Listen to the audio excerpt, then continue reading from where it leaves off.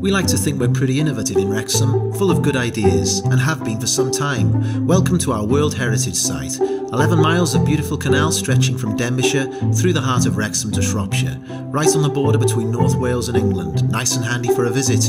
And the star of the show is Pontcysyllte Aqueduct, Thomas Telford's masterpiece, completed in 1805, 10 years in the making, over 200 years of use and still going strong. For the non-Welsh speaker, it's pronounced Pontcysyllte, meaning the bridge that connects, and it's big, 1,007 feet long, 126 feet high, carrying a gigantic 1.5 million litres of water. In fact, it's the highest navigable aqueduct in the world, and the mortar's made from oxen blood, lime, and water. A bit like trickle toffee, but it's as safe as houses. Like we said, innovative stuff. And what's really amazing is the way the structure still captures the imagination. It's never lost its magic. Walk across it, look down if you dare, or take in the views from a canal boat. It's spectacular, and you feel like you're alive. And after all that excitement, a gentle stroll along the canal to Chirk Aqueduct or towards Llangollen should restore your calm. Experience it for yourself.